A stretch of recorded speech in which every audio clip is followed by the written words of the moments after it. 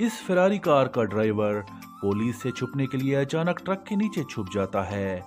वो पुलिस को चकमा देने में तो कामयाब रहा, लेकिन ये हरकत करते हुए इसकी जान जा सकती थी।